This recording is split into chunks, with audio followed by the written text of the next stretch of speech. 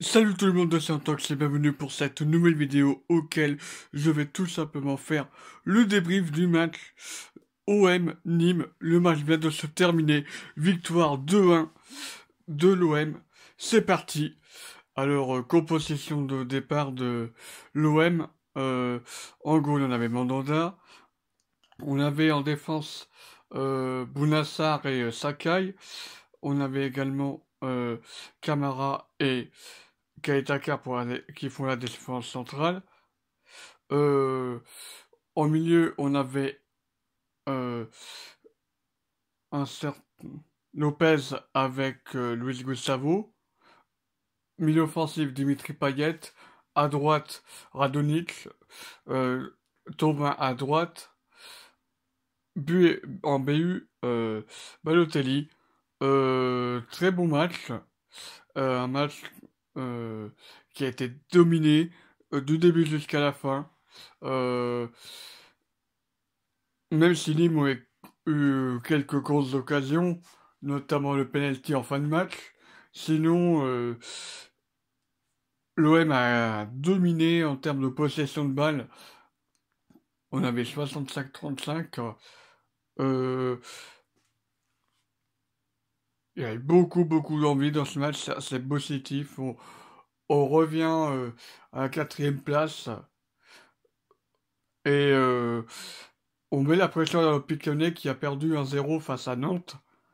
Euh, alors, première mi-temps très intéressante. Il aurait pu y avoir 2-0 à cause de la VAR, mais enfin, qui a annulé les tirs. Voilà, le, la VAR, euh, on a décidé autrement parce que il y a eu deux hors-jeu. Euh, Balotelli qui est blessé, remplacé par Germain, euh, qui a été très utile.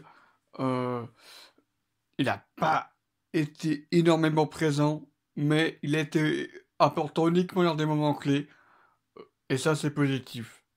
C'est positif pour lui. Euh, ça lui permet de prendre un peu de confiance. Euh,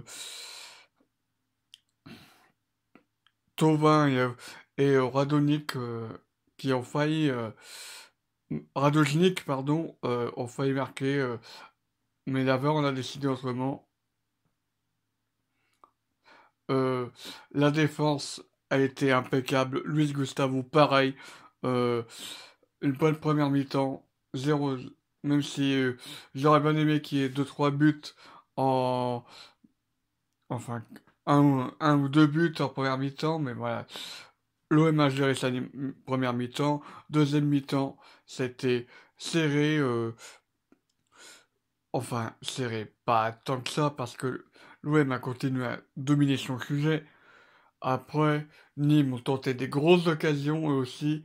Savanier, euh, il été très bon. Il me... Savanier, c'est... C'est un très bon joueur euh, à. Euh, également, euh, il a mis euh, Radojnik euh, en difficulté dans certaines situations. C'est Bernardoni qui te claque des parades de folie, tout comme Mandanda.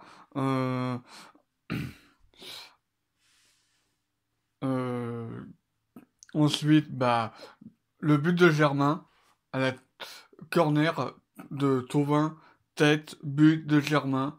Euh, et à peine une minute après, Luis Gustavo, il te, claque une lourde d'une beauté.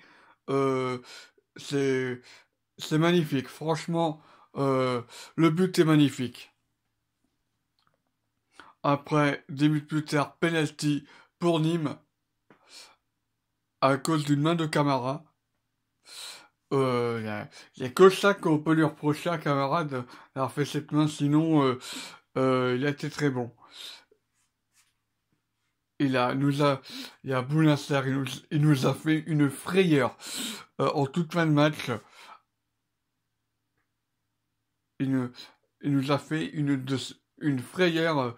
euh, heureusement que Bouanga avait fait une main juste avant parce que sinon, euh, euh, on aurait dû adieu euh, à la Ligue à une potentielle place de troisième en Ligue des Champions. Bon, du coup, bah, c'est la fin de débrief. Victoire 2-1, but de Germain et de Luis Gustavo, but de Savanier pour Nîmes. Voilà. Euh, j'espère que vous aurez apprécié ce petit débrief. Si c'est le cas, lâchez le petit pouce bleu comme d'habitude. Abonnez-vous à ma chaîne. Salut tout le monde.